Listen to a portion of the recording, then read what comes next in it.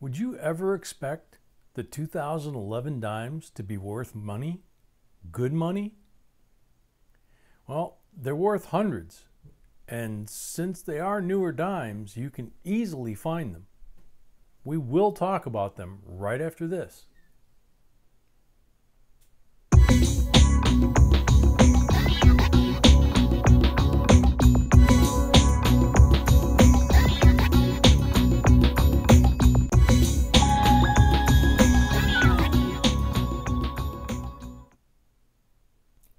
Hey YouTubers, this is JNB, and welcome to our JB Coins family. We're all about coins and currency. We have new videos every day, and we're here to help you either start your new collection, expand an existing one, or find that one valuable coin that can change your life. In this video, we will talk about newer dimes worth money dimes you should know about and look for. It is very exciting how much some newer dimes are selling for, and we will, of course, explain why. The 2011 dimes were struck in Philadelphia and Denver and San Francisco mints. Philadelphia and Denver mints struck over about 700 million coins each. Not a large number not as low as 2009, but considerably low. But in both mints, they struck them in poor condition. Now, because of mintage and overall low quality of dimes struck that year, they are bringing really good money. Dimes struck with full band or full torch designation are bringing really good money.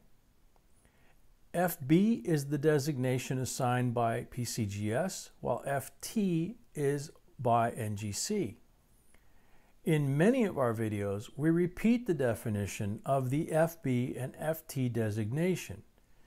In this video, we won't, but we will link a video about coin designation in the end of this one. So, let's give you the values of the most recent sold dime. This 2011 Denver Roosevelt dime, graded by PCGS at MS68 FB, sold recently at auction for $995. The Roosevelt dime from the Philadelphia Mint, the coin you see in this picture, is also graded MS68 full band by PCGS and it sold recently for $1,299. It's an extremely nice profit for a newer penny. And we know that some will say it's normal for coins in high grades, but not entirely. It is obvious that coins in higher grade will sell for more, but not necessarily for as much as other coins sell. For example, this 2014 D dime in the same grade, MS68FB, sold recently at auction for only $253. The 2014 P dime in the same grade sold for only $299. So it does really matter which years you need to look for. It makes a huge difference. And that is why we're making these types of videos. An exciting fact is that newer coins are still available if you want to devote some time and look for them. As for coins struck at the San Francisco Mint, they struck proof coins in clad and silver composition, and they struck them in very good condition, very typical for proof coins. But what's not typical is the silver coin is selling for less than the clad. And speaking of proof finishes, the same video we will link at the end of this one will have an explanation about coin finishes, designations, etc.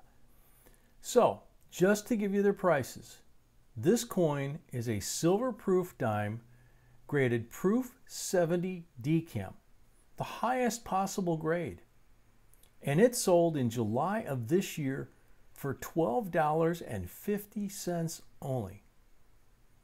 The next coin is a Proof 70 DCAM clad dime in the same grade, Proof 70 DCAM. And it sold also in July of this year for $23.50. Not a lot as well, but higher than the silver coin. Let us know in the comments section below if you collect newer dimes. Dimes, especially newer dimes, in our opinion, are very much overlooked and not getting as much attention as they should. So we hope you liked this video and found it helpful. And if you did, please like, share, and subscribe so we can create more videos for you. Thank you for watching and see you in the next video.